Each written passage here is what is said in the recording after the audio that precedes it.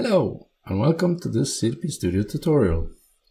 In this tutorial I will show you how to set up and use a Wago PFC 200 with CDP Studio. The tutorial will show you how to add a Wago PFC IO server component into your project and how to add IO modules to the Wago PFC IO server. I will show how to use CDP Studio to set up automatic scaling from engineering values into hardware values. We will use logical units such as 0 to 1 in the user interface, while scaling operators will transform this into hardware values representing 4 to 20 milliamps. I will also show how to set up an alarm to notify the user when something is wrong. And finally, I will connect everything to a user interface. I assume you have already set up the Wago PFC to work with CDP Studio. For instructions on how to do that, please look in the Wago PFC IO help manual in CDP Studio. The Wago PFC controller I have here in my office is set up with four modules. A 750 431 8-channel digital input, a 750 530 8-channel digital output, a 750 554 2-channel analog current output, and a 750 454 2-channel analog current input. In addition, it has a 750-600 AND module which is not shown in the configuration, but is required for correct operation. The modules have been set up so that the analog outputs are connected to the analog inputs. The first digital input is connected to a button, and the first digital output controls a light. The IO Server user interface that was made in the IO Server user interface tutorial will be used here to demonstrate how the IO integration works. I recommend looking at that video first if you have not yet seen it. Open CDP Studio and then load the IO Server user interface from the IO Server user interface tutorial. In configure mode, right-click the system, select Add, CDP Application. We then add a console application that we intend to run on the Wago PFC target and name it Wago PFC app. Select the application that was added and from the resource tree add a Wago PFC IO server component into the application. The Wago PFC IO server component is a CDP IO server that converts CDP signals to values that the Wago PFC understands and converts Wago PFC values into CDP signals. With the component selected, in the resource tree you can find all the available IO modules for the Wago PFC IO server under the Wago IO modules node. The Wago PFC IO server FS property decides how often the inputs and outputs are updated each second. You should set this to a reasonable number depending on your application. For our use, 100 Hz is okay. As mentioned in the beginning, my Wago PFC has a 431, a 530, a 554, and a 454 module in that order. We add these modules to the Wago PFC IO server configuration by searching the resource tree. Search for 431 and from the suggestion list, double-click the 750-431 module to add it. Then search for 530 and double-click the 750-530 module from the list to add it to the Wago PFC IO server. Search for 554 and add the 750-554 module. And finally, search for 454 and add the 750-454 module. Note that the configured order of the modules must be the same as the physical. Power modules and other modules that do not have any I.O. are omitted from the configuration.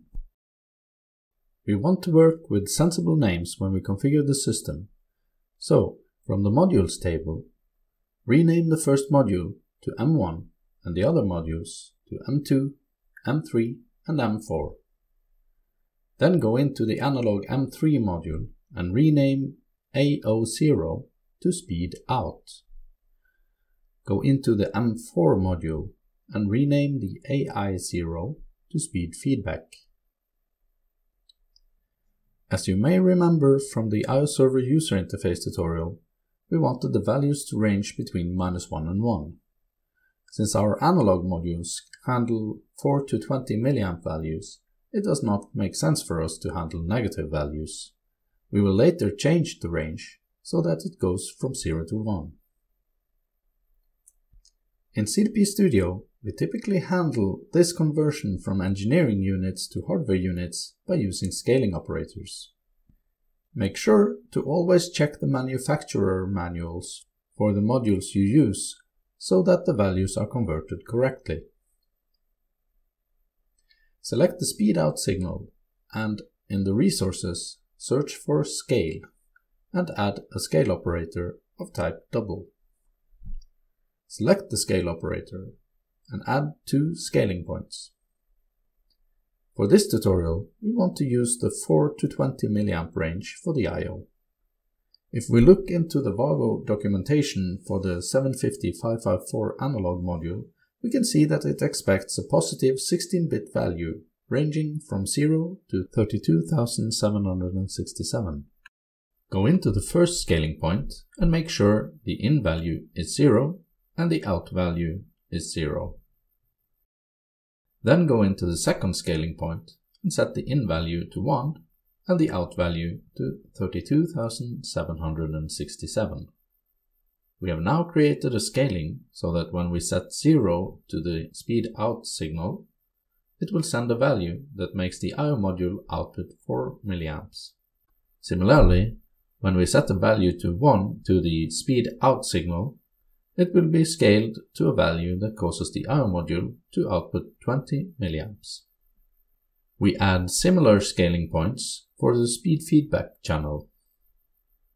In the documentation for the 750-454 analog module, we can see that it expects a positive 16-bit value ranging from 0 to 32,760.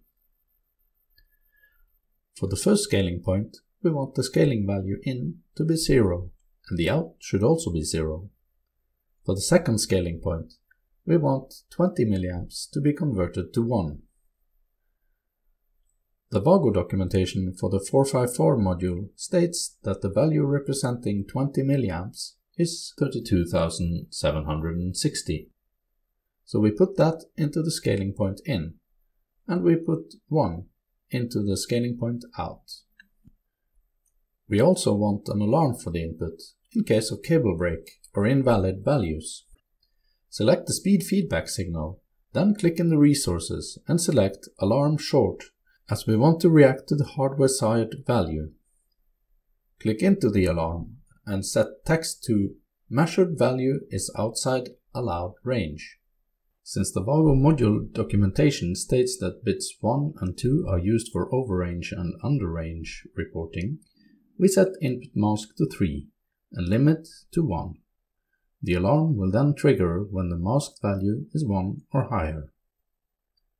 We set level to warning and make sure the alarm is listed before the scale operator in the operator table.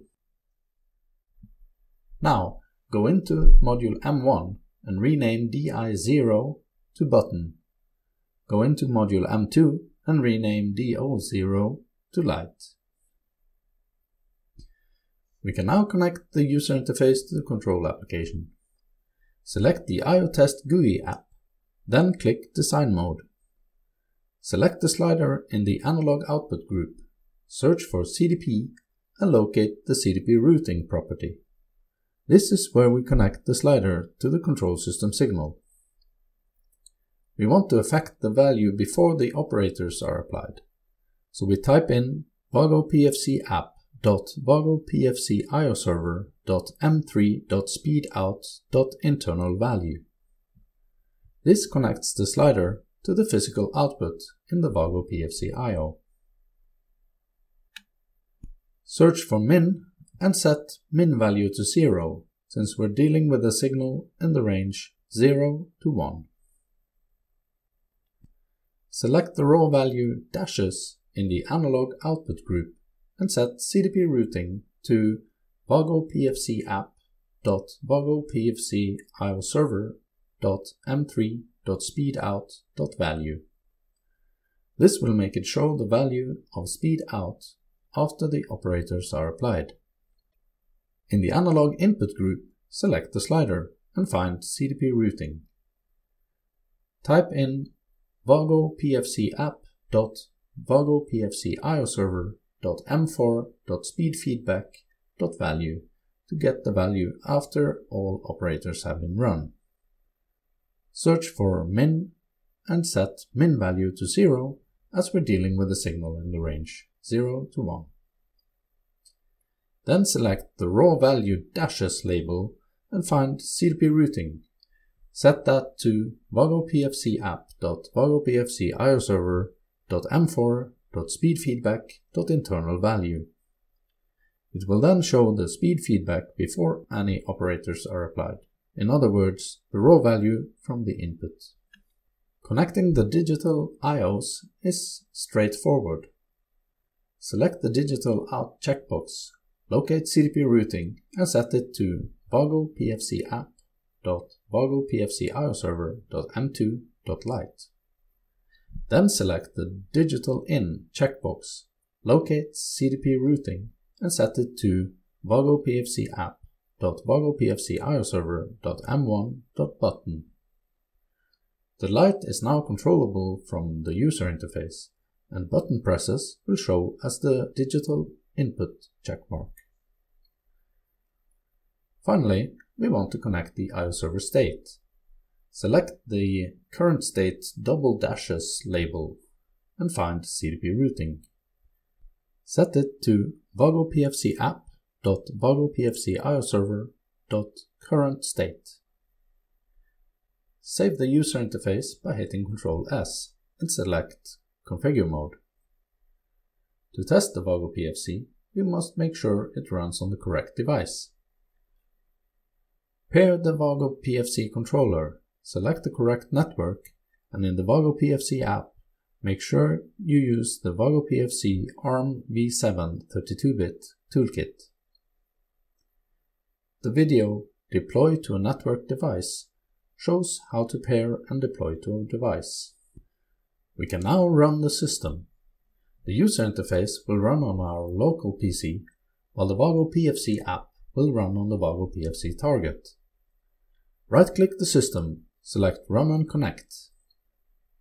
When the applications are running and connected, the user interface will show the IOServer state as online. When we move the analog output slider to the right, you will see that the analog input moves with it. The analog input may jump around a bit. This may be due to noise in the analog to digital conversion. If you disconnect the wire going into the 454 module first terminal, the cable break alarm should trigger. If you set it back in, the alarm will change status from UNAC set to UNAC. If you double-click the alarm in the event list, you acknowledge that you have seen it, and the alarm will not show until it is set again. If you click on the digital output, the light output will be set and the physical light will light up. When you push the physical button, you will see that the digital input will be checked as long as the button is pressed. That was all for this CDP Studio tutorial.